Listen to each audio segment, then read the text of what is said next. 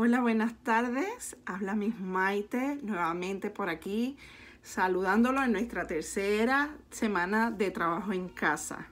Es importante esforzarnos, recordar que necesitamos practicar para no olvidar lo que ya hemos aprendido. Así que anima a papi, anima a mami a ir a la, computadora o a la tablet o el teléfono y sacar un tiempo para escuchar a mi Sally y a, a mis Maite que tienen cuentos que leerte, canciones que cantar contigo y juegos que jugar.